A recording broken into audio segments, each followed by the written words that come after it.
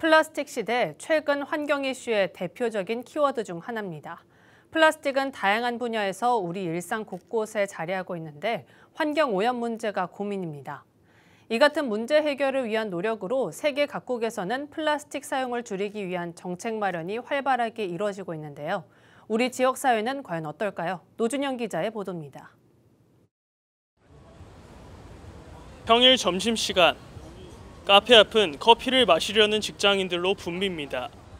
저마다의 손엔 플라스틱 컵이 하나씩 들려 있습니다.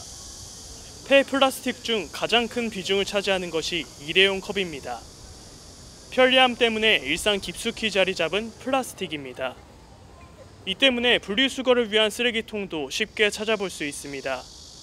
뚜껑을 열어보자 다양한 종류의 플라스틱이 가득 차 있습니다. 여러 분야에서 매일 쏟아지며 환경에 많은 영향을 미치는 요인이 되고 있습니다. 지역 사회에서는 이 같은 문제 해결을 위해 다양한 시도가 이뤄지고 있습니다. 인간 활동에 의해 대기 중 온실가스 농도를 감소시키는 탄소 중립 실천이 그중 하나입니다. 고무장갑을 낀 사람들이 싱크대에서 그릇과 컵을 헹구고 애벌 세척을 시작합니다. 표면이나 작은 틈새에 있는 오염물질은 초음파 에너지를 이용해 제거합니다. 용기별 적정 온도로 세척기를 통과한 뒤 건조 과정을 거칩니다. 혹시 남아있을 세균과 바이러스는 UV 자외선 살균실에서 다시 확인합니다. 잠실 야구장과 지역 내 도시락 업체에서 사용된 다회 용기입니다. 한 번 사용 후 버리지 않고 수거해 세척과 소독 작업을 거쳐 재사용이 가능합니다. 탄소 중립 실천을 위한 재사용, 여러 실험적 시도 중 하나입니다.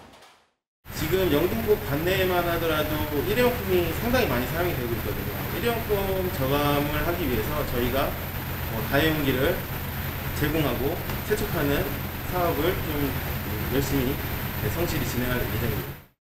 오염도를 측정해 세척 상태를 점검한 뒤 식품 위생 안전 기준을 통과한 용기만 다시 사용합니다.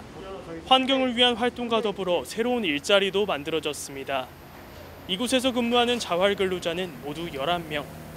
근로 능력 향상과 자활 의지를 높여 경제적 자립을 돕습니다.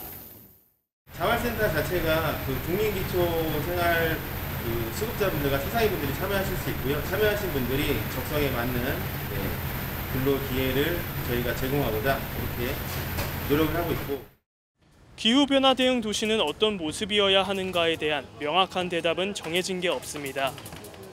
플라스틱 사용을 자제하는 것만으로 지구 온난화를 막기엔 역부족입니다. 미래 세대에 살만한 지구를 물려주려면 재사용과 같은 여러 실험적 시도를 통해 온실가스를 줄여나가는 등 정책적 노력과 개인적 실천이 가장 필요한 지금입니다. CNB 뉴스 노준영입니다.